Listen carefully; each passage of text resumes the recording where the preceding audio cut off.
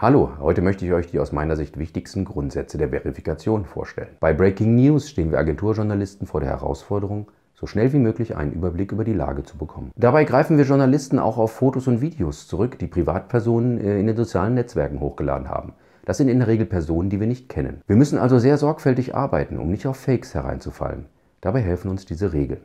Ein Hinweis noch, diese Regeln dienen der schnellen Orientierung. Ist das eine echte Aufnahme oder ein Fake?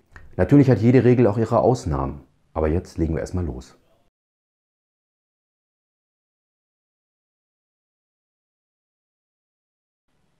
Die Monsterwolke ist ebenso echt wie die Freiheitsstatue.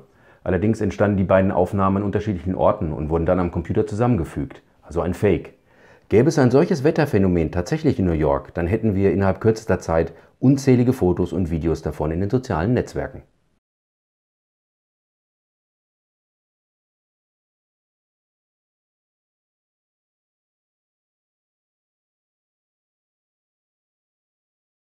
Der Twitter-User Jason Michael ist nach eigenen Angaben ein Journalist aus Dublin.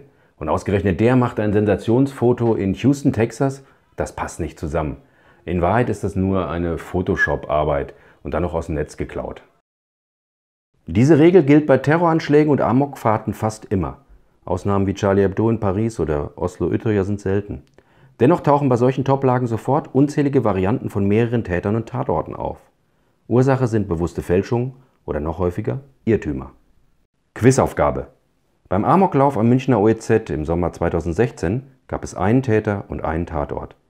Dennoch war quasi ganz München im Ausnahmezustand. An vielen Orten sollen Schüsse gefallen sein, mit Toten oder Verletzten.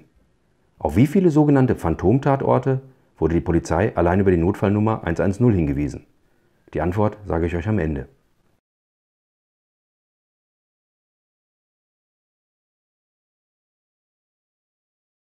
Ein solches Ereignis war Ende 2016 der geplante Wechsel des Formel-1-Piloten Sebastian Vettel von Red Bull zu Ferrari. Die Bestätigung für den Wechsel wurde quasi minütlich erwartet. Auf Twitter bastelten Scherzkekse einen täuschend echt aussehenden Ferrari-Account und verkündeten den Wechsel Vettels schon einen Tag früher. Wenn es von öffentlichen Gefahrenlagen in Metropolen nach 20 Minuten keine Fotos oder Videos gibt, dann handelt es sich wahrscheinlich um einen Fehlalarm. Ende 2017 sorgten in der Londoner City Berichte über Schüsse für Panik. Die Polizei behandelte die Vorfälle wie eine mögliche Terrorlage. Es wurden viele Fotos und Videos rund um Oxford Circus hochgeladen, aber nirgendwo Hinweise auf ein Verbrechen. Mit jeder Minute wurde deutlicher, das muss ein Fehlalarm sein. Erst viel später kam von der Polizei die offizielle Entwarnung. So, das waren aus meiner Sicht die wichtigsten Regeln der Verifikation.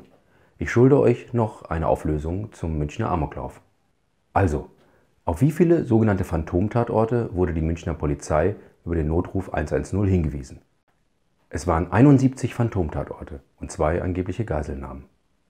Merkt euch diese Zahl, denn auch bei der nächsten Großlage dieser Art wird es ähnlich viele Irrtümer geben. Das war's für heute. Ich hoffe, es hat euch gefallen. Bis zum nächsten Mal. Tschüss.